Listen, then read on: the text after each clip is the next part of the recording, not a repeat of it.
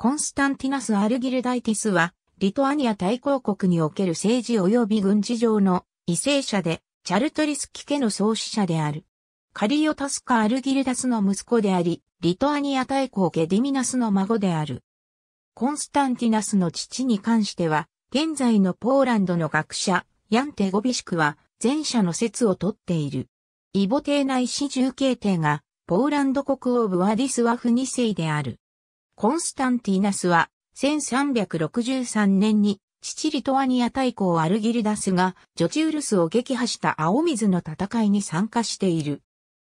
この戦いで、ボジーリャとクリミアを支配したハジベイとクトゥルクベイの二人のハーンに勝利したことで、コンスタンティナスは、小ポジーリャの地を与えられて同地に移った。コンスタンティナスは、すでに治療となっていたブラツラブシナと合わせて、ポジーリャ広告を作り、その初代校に収まっている。それと同時に、チェルニーヒウとシベリアの公となっている。コンスタンティナスは、リトアニア大公の直接の進化に置かれていた。1362年以降は、スモトリ地の中心地を掌握している。年代記作者は、ポジーリャの地は、バスカクとアタマンによって著しく荒廃しており、凋落したままであり、多くの都市が再び建てられたと記している。コンスタンティナスの統治時代のポジーリャ広告では独自の貨幣がはっきりと目立っており、歴史上の資料ではポジャーレ貨幣として知られている。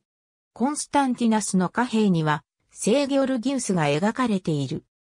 初期貨幣には、ラテン語で、スモトリチの領主にて支配者たる、コンスタンティナス公と刻まれていたが、後には、ポジャーレの領主にて支配者たる、コンスタンティナス公となった。ポジーリャの地の併合は、ポーランド国王カジミエシュ三世の興味を引くところとなった。そのことに関して、スプラスやスルツカやその他の年代記によると、カジミエシュ三世は、コンスタンティナスに対して自身の娘であるクネグンダとの婚姻による結びつきを申し出ている。だが、コンスタンティナスは、正教からカトリックへの改宗を望んでいなかったことから、この交渉は失敗に終わった。年代記作者は、他のカリオタス家の人間が正教への信仰が強くないことから、コンスタンティナスの正教信仰を強調して書く。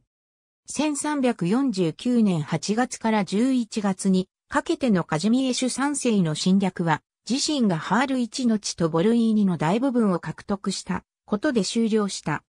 コンスタンティナスは、ポジーリャを失わないためにもポーランド国王に忠誠を誓い、1385年のクレボヌ合同後は、ハンガリーに移住して、同地で死去した。コンスタンティナスは3人の息子を設けた、テイグースキー J、カトゥーリ・コンシュタンティ、オルジダウック・ジー・コーリートーク、ビル・プラザド・キエム・ナイジアオ・ザートリスキッチ、ヨーロッパ・ウリアンタリス、トーン、1996、S53 から59。ありがとうございます。